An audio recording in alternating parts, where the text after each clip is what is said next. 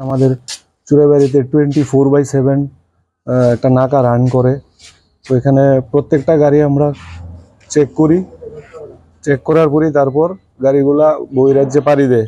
তো আজকে নাকা চেকিংয়ের সময় প্রথম আমরা ধর্মনগর করিমগঞ্জগামী একটা ছোটো বাস, তার নাম্বার হচ্ছে A S zero one F C two five three five ওইটা চেক করে ওটার মধ্যে সন্দেহজনক দুইটা লোককে আমরা ডিটেন করি। তাদের একজনের নাম সুভাষ কুমার আরেকজনের নাম রাঘব দুজনের বাড়ি বিহার। তো তাদের ব্যাগ তল্লাশি করে তাদের কাছ থেকে দুইটি ব্যাগে মোট বারো কেজি আহ, গাঁজা শুকনো গাঁজা সিজ করি। তো তাদের স্বীকারোক্তি মূলে নেক্সট বাস যেটা এটাও ধর্মনগর থেকে করিমগঞ্জ যাচ্ছিল প্রথম বাসটার পেছনে পেছনে। ওটার নাম্বার দ্বিতীয় বাসের number A S twenty four C six one seven one এটাতে তাদের আরও তিনজন সাথী। এই তিনজন সাথী ছিল। তো ওই বাসটা আটকানোর পর ওই বাসটাতেও আমরা সার্চ করি। ওই তিনজনকে আমরা আটকাই এবং তাদের বডি তল্লাশির সময় বডিতে একদম অ্যাটাচ করা পেটের মধ্যে একদম অ্যাটাচ করা বডি সেটিং এখানে আমরা সাত কেজি গাঁজা সিজ করি তিনজনের কাছ থেকে। তাদের নাম একজনের নাম গোলু কুমার আর একজনের নাম হচ্ছে শিব কুমার আরেকজন হচ্ছে জিতেন কুমার। এরা সব একই জায়গার বিহারের লোক। হ্যাঁ এরা ধর্মনগর থেকে। এদিকে করিমগঞ্জ দিকে যাচ্ছিল দুইটা বাসে করে।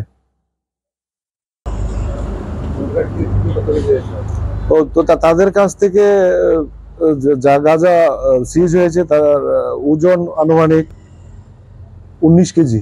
বাজার মূল্য কত টাকা হবে? বাজার মূল্য কত চার লাখ টাকার মতো হবে।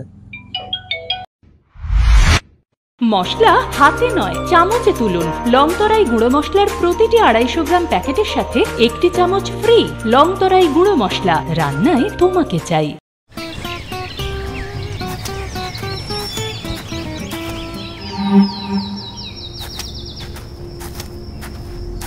এই, তুমি ডিজেন্দার মেয়ে না? শুনলাম তুমি নাকি বিদেশ থেকে ইঞ্জিনিয়ারিং পড়ে এসছো। তা তোমাদের সঙ্গে যে প্রতারণা হচ্ছে সেটা বুঝতে পারছে না? আঙ্কেল কিছু বুঝতে পারলাম না কি বলছেন? সেদিন তোমাদের বাড়ির সামনে দিয়ে আসছিলাম। তোমাদের বাড়ির কাজ ধরেছো। তা কেমন হয়েছে? দেখতে গিয়ে দেখলাম। শুধু তাই নয় যাদের দিয়ে কাজ করাচ্ছ তারা সিমেন্টটাও এক্সপায়ারি ব্যবহার করছে। আর এইভাবে যদি কাজ চলতে থাকে দেখবে তোমাদের বাড়ি দু বছরের মধ্যে ভেঙে পড়বে। তাহলে আজকে আমি বাবার সাথে কথা বলছি তোমার ফোন নাম্বারটা দাও। লিখে নাও। আরে রঞ্জন মেয়ের কাছ থেকে তো সবই শুনলাম কিন্তু আমি তো কাজ তো ধরে ফেলেছি। হ্যাঁ। এখন কি করব কোথায় যাব কিছুই তো বুঝতে পারছি না। কেন? ড্রিম কনস্ট্রাকশন আছে তো। গত পাঁচ বছর ধরে ত্রিপুরার সব বড় বড় কাজ ওরাই করছে। আর বাকিদের মতো ওরা শুধু নিজের লাভের কথাই চিন্তা করে না।